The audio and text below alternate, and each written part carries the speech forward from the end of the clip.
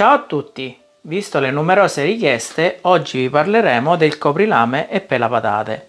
Il coprilame e pelapatate è composto da un disco in acciaio inox con un inserto in plastica che va posizionato sul gruppo coltelli.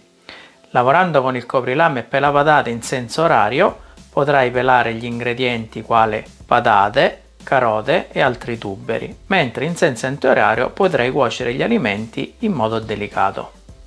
Il coprilame e pelapatate serve anche a proteggere gli ingredienti dal contatto con il gruppo coltelli, così potrai cucinare con il bimbi senza alcun problema utilizzando sia la cottura lenta che il sottovuoto. Con questi metodi di cottura si possono preparare carni, pesce e verdure in modo gustoso e delicato esaltandone il gusto.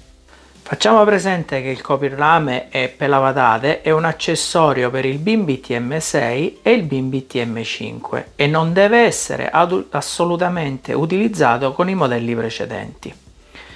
Lo si utilizza in senso orario senza temperatura a una velocità massima di 4 per pelare gli ingredienti, mentre in senso antiorario alla velocità massima 1 nel boccale per cucinare gli alimenti senza entrare in contatto col gruppo coltelli a una temperatura massima di 100 gradi. Il coprilame per la patate non dovrà mai essere utilizzato all'interno del boccale con altri contenitori in vetro anche se sono adatti a cotture sottovuoto in quanto può esistere il pericolo di rottura del vetro. Non deve essere utilizzato mai neanche né con il cestello né con la farfalla.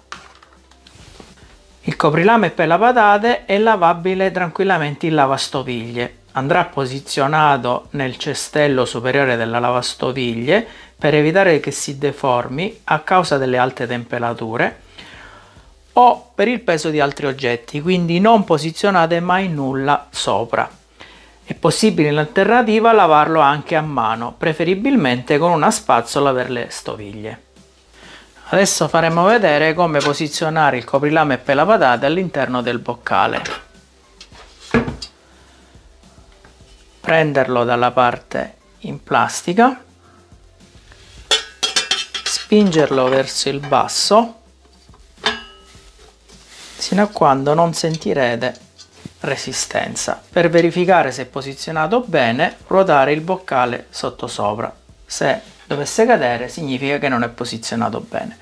Per rimuoverlo, sempre dalla parte in plastica, tirare con una leggera forza. Adesso nel dettaglio ve lo farò vedere senza il, bocca senza il boccale, ma voi fatelo solo con le lame posizionate nel boccale. Come potrete notare ci sono due scanalature. Queste due scanalature dovranno corrispondere con le due lame alte questa questa andrà incastrato in questo modo se verrà posizionato diversamente il coprilame non si incastrerà e rischierete di danneggiarlo quindi mi raccomando sempre le due scanalature con le lame alte e va incastrato. Questa operazione va effettuata esclusivamente con le lame posizionate già all'interno del boccale. Adesso proveremo, anzi peleremo le patate. Andiamo a cercare la funzione pelare. La prima volta che l'attiverete vi apparirà questa scritta. Per evitare di visualizzare in futuro questa scritta basterà mettere la spunta in basso, non visualizzare più questo messaggio. Mettiamo nel boccale una quantità di acqua che non deve essere superiore a 600 grammi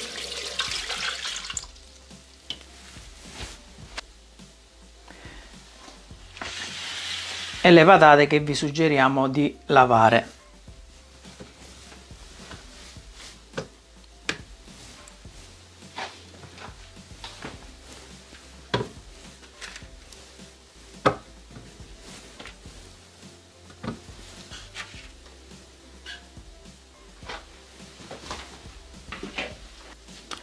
Chiudere con il coperchio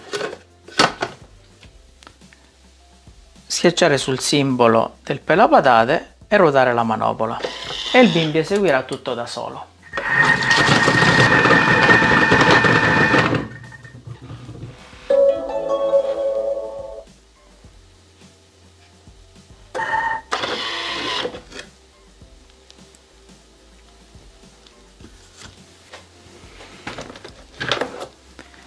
Le patate sono pelate, basterà sciacquarle sotto l'acqua corrente e sono pronte per essere utilizzate. Mi raccomando non utilizzare più di 800 g eh, di patate o carote o altri tuberi. Abbiamo sciacquato le patate sotto l'acqua corrente, adesso sono pronte per essere cucinate. Coprilame e pella patate. Grazie e alla prossima ricetta!